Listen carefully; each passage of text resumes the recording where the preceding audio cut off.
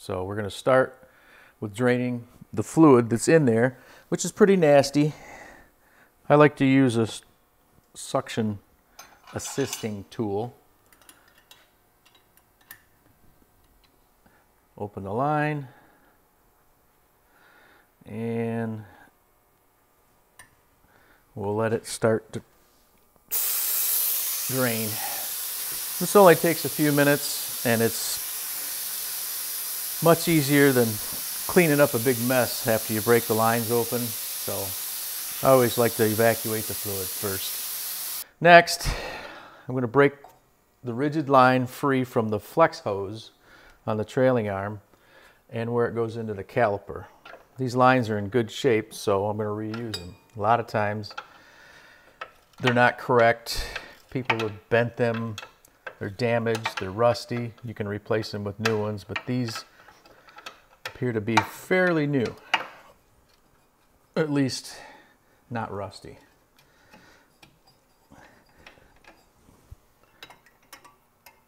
Always use a line wrench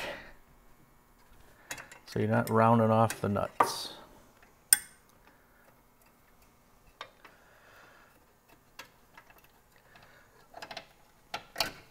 Once I get the line off,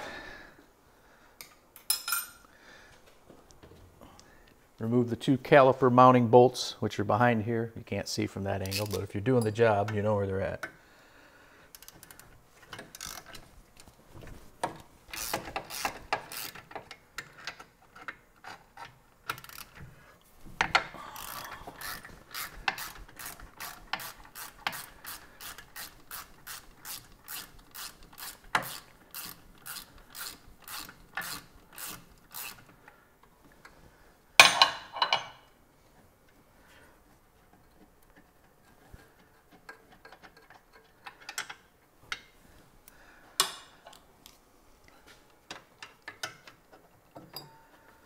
A lot of times I like to use air tools to take stuff apart, but since we're doing a video, I don't want to make too much noise.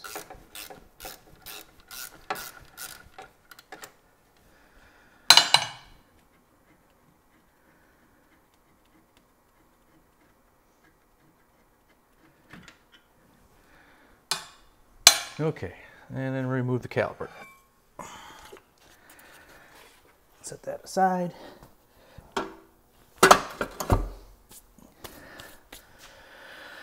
The rotor has already been deriveted. Somebody's done brake job or spindle bearings upon once upon a time, and so we don't have to derivet, which is kind of nice. If you do, I like to drive them out with an air hammer. Some people will drill them out, whatever's good for you. And these areas where the parking brake shoes ride, these have been replaced. They're stainless steel. We don't have to service those at this time, but we are putting new rotors and calipers on.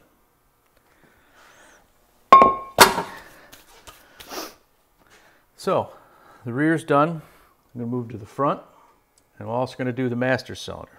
Okay, now we're onto the front. I want to evacuate the fluid from this, just like we did the rear. Open it up. Doesn't take long with suction.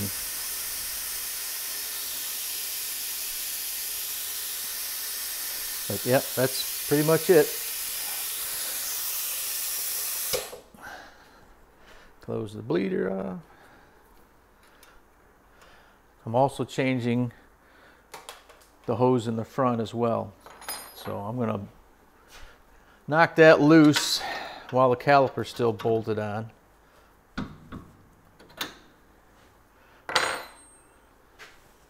remove the line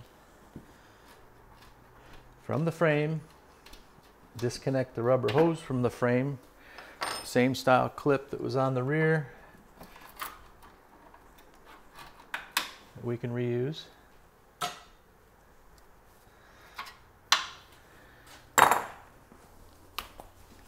Unbolt the caliper.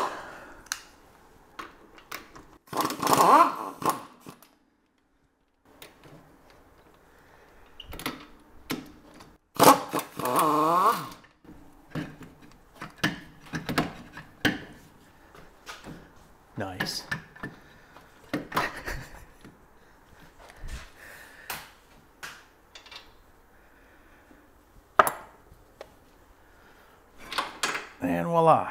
Now that the hose is loose, we can spin it off just because we're not using it, but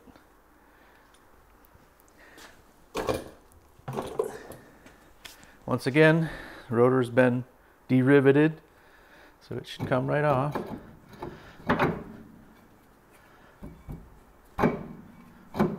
Unless the studs are bent. There we go. Yucky, nasty. These are what they call the cooling fins. You see how rusty they are, how thin they are.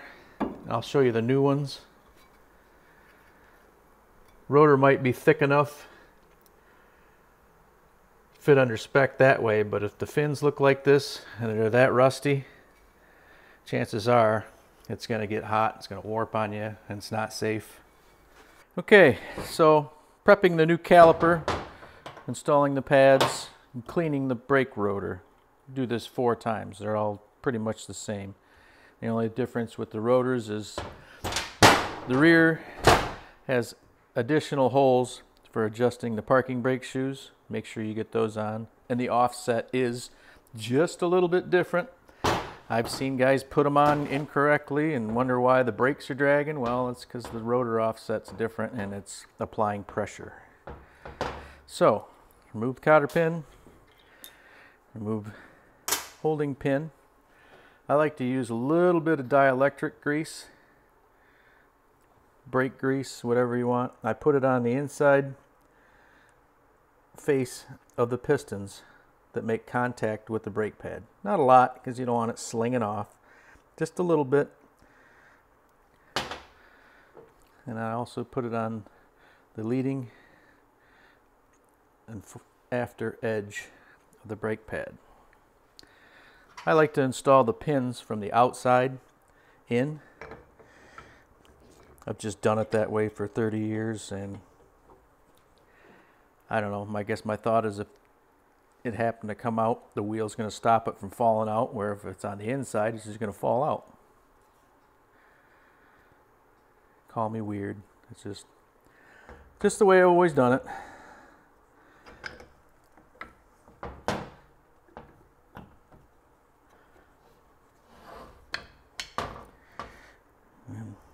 Get the pin through.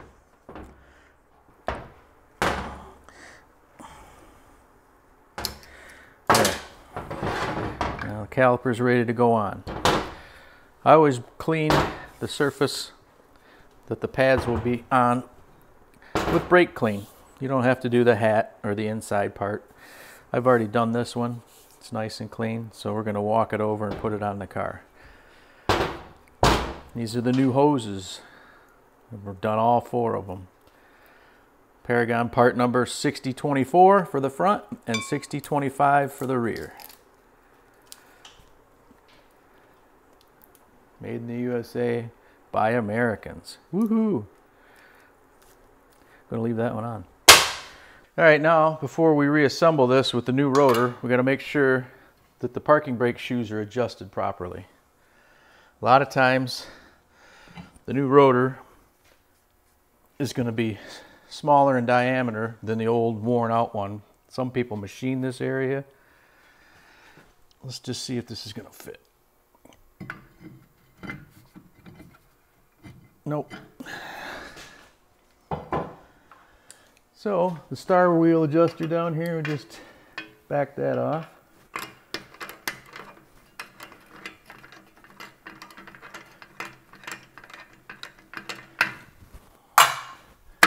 sure they're centered. Try it again.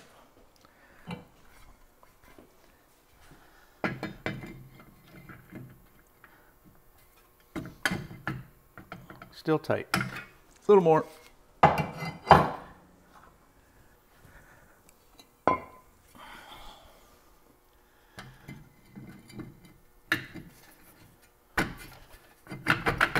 There we go.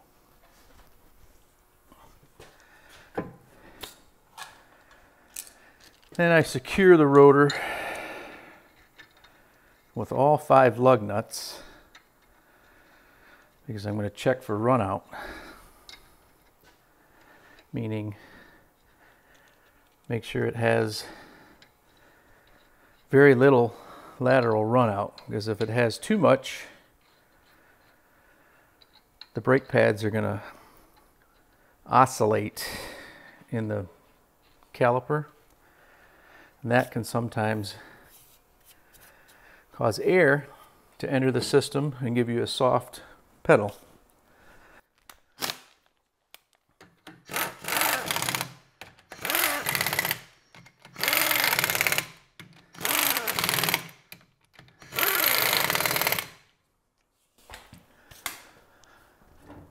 So to measure that, use a dial indicator, magnetic base.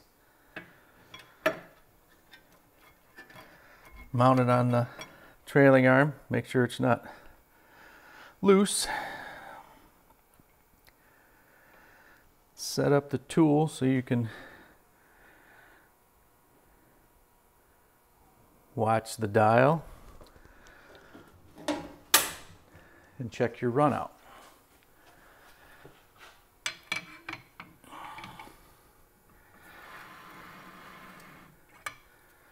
I go around once or twice just to make sure. I don't know if you can see that or not. We'll do a close up here in a second. This one's good, believe it or not. I had like two thousandths. That's spectacular. You don't want any more than seven because it will make that not so kosher. Okay, now I'm going to put a new caliper or remanufactured caliper a new brake pad set on. I like to hold it apart with my hand. There's a tool you can buy to keep these separated. I just do it like this.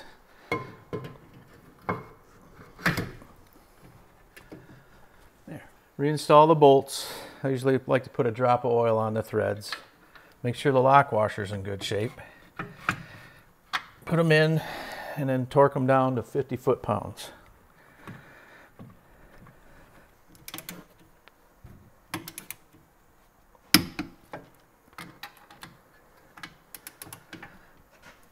Get them both torqued to 50 foot-pounds. Another thing I like to do is make sure that you have adequate clearance for the caliper and the pistons and the brake pads. Sometimes they're too tight. If that's the case, then the caliper mount is probably bent and then you have to replace that. This is this is good. Okay, now we need to replace the rubber flex hose. It goes from the trailing arm to the frame. It's really hard to see. You got to remove the clip We can reuse that. It's in good shape. And then the 5 8 line wrench. Bust it loose from the frame.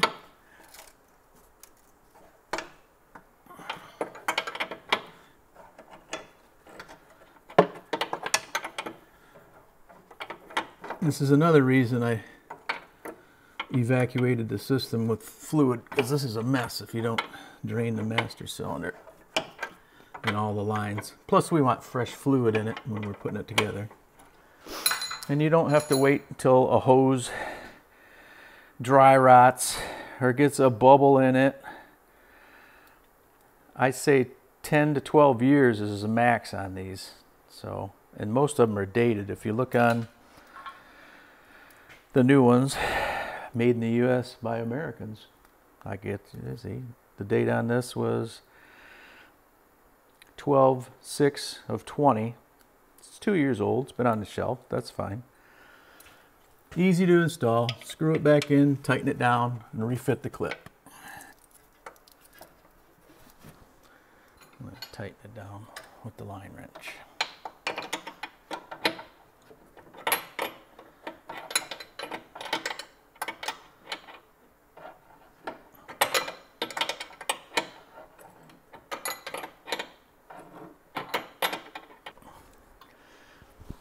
retaining clip.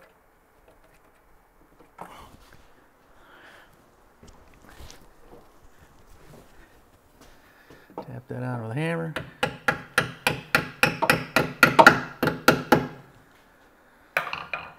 Now we can refit our rear rigid line.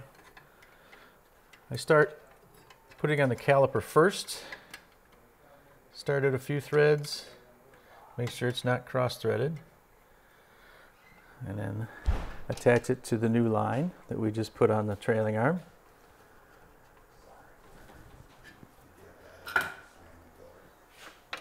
It's fine. Snuggy, snuggy.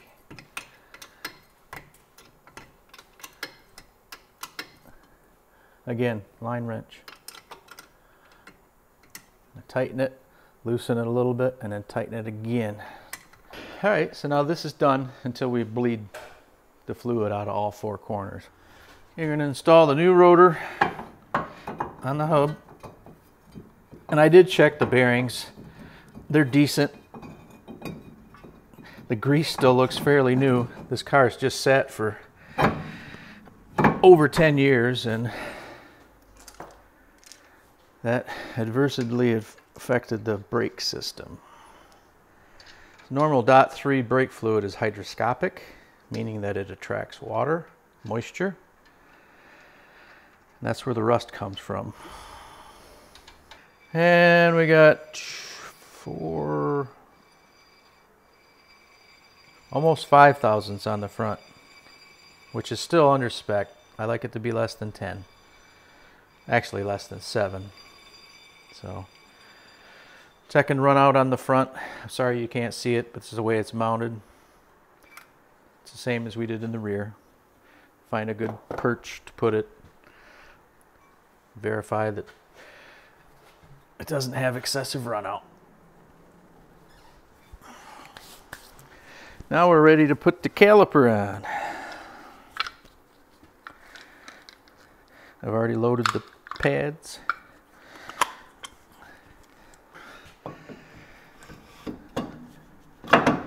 On there.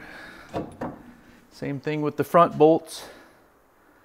Make sure your lock washers are in good shape. Drop of oil on the threads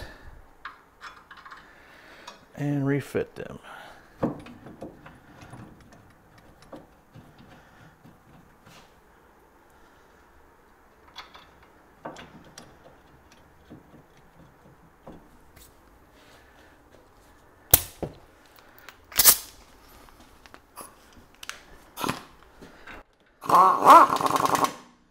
Just run these in.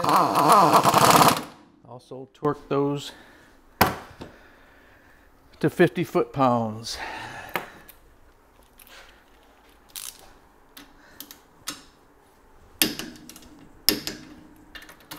Straighten this. And then attach the hose into the frame. Make sure it's not twisted has a nice flow to it. Refit the clip and the rigid line on the frame.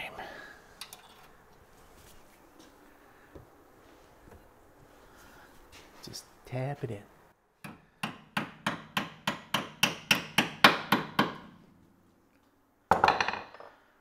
Another line wrench, 3 eighths for the line.